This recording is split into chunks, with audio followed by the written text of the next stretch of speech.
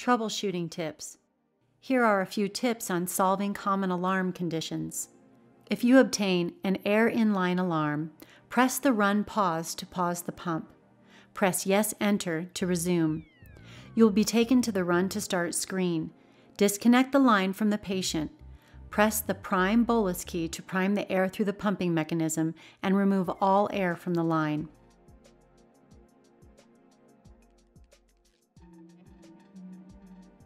Press Yes Enter to exit the prime function and return to the Run screen. Press the Run Pause key to restart the infusion.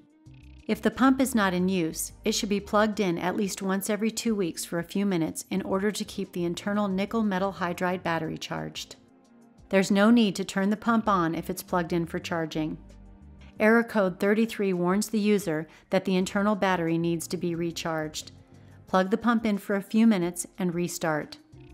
Keeping the pump paused for two minutes will result in a warning alert on the screen reading Alarm Unattended. This informs the user that the pump is not yet running.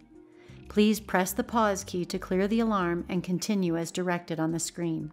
Replace set 3 alarms typically indicate a need for a new administration set.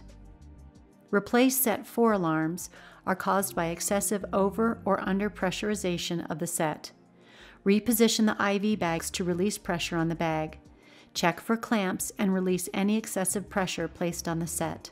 If troubleshooting measures are not effective, consider contacting clinical support for assistance or send the pump in for service.